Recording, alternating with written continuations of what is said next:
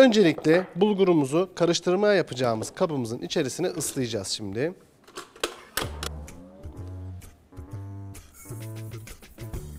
Şimdi bunun üzerine de bir parmak geçecek şekilde sıcak su koyuyorum.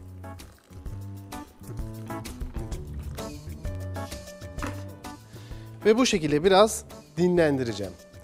Bulgur kabarırken de şimdi yoğurt sosumu hazırlayacağım. Yoğurt sosumuza sarımsak kullanacağız. Sarımsaklarımızı ezelim önce.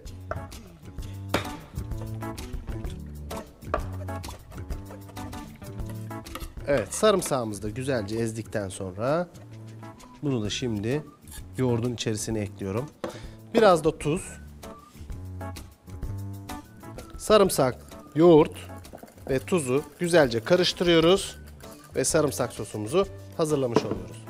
Şimdi de köftemizi yoğurmaya başlayabiliriz.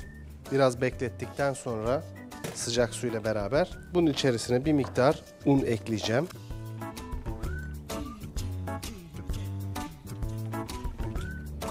Ve biraz da tuz.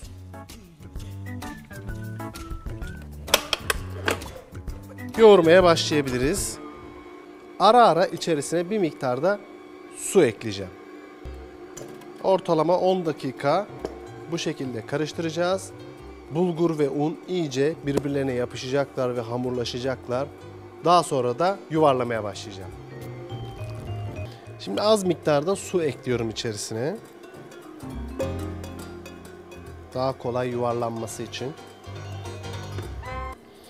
Bir tane bu şekilde alıyorum ve güzelce yuvarlıyorum. Suyun içerisine atıyoruz ve kontrol ediyoruz.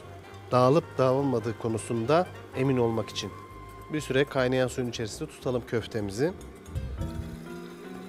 Güzel. Suyun içerisinde dağılmıyor. Köftemiz şu anda yuvarlanmaya hazır. Evet, avcumuzun içerisini biraz ıslatıyoruz ve harcımızdan bir parça kopararak misket büyüklüğünde yapabilirsiniz. Bu şekilde yuvarlamaya başlıyoruz.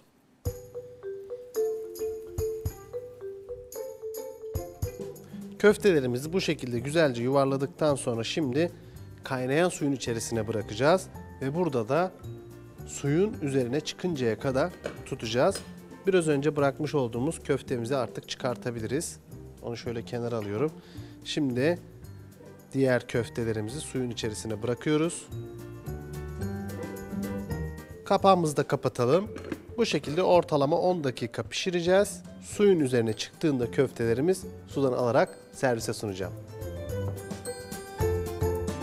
Köftelerim pişti. Şimdi servisimi yaparken de üzerine bir miktar tereyağı gezdireceğim. Bunun için tereyağımızı da eritelim.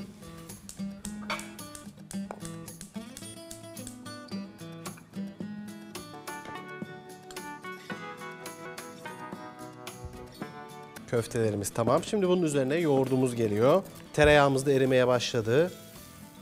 Güzelce karıştırıyoruz. Bunun içerisine şimdi biraz pul biber gezdiriyorum. Yoğurt sosumuzu da bakın bu şekilde üzerine güzelce gezdiriyoruz köftelerimizin. Tereyağımız da şu anda hazır. Yoğurdumuzun üzerine bu şekilde tereyağımızı da gezdiriyoruz.